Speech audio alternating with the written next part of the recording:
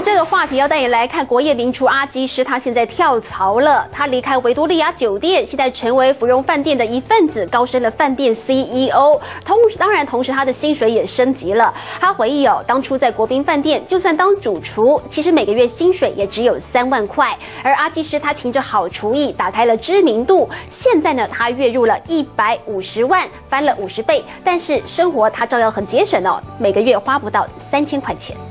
都刚好适合我的长度很短。戴上厨师帽，再从美食评论家手上接过鲜花，阿基师正式加入新东家，身价和厨艺一样，不同凡响。哎，你拢没搞我嗨呢？多，有没有这么多？还是已经八位数了？现在这个时段，国税局都在看呢。赚钱就是养女人嘛，哈，养妈妈、养太太、养女儿、养外劳，都是女人。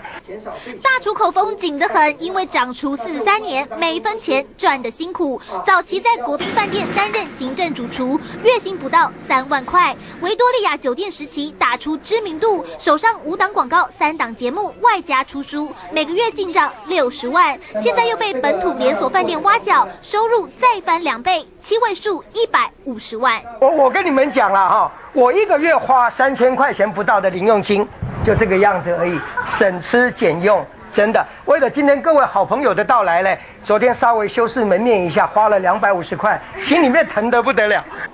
和国宾饭店比起来，薪水翻了五十倍，简单生活始终如一。国厨跳槽还是坚持只挥霍料理美食的创意和心意。中天新闻翁启斌、范新瑜台北采访报道。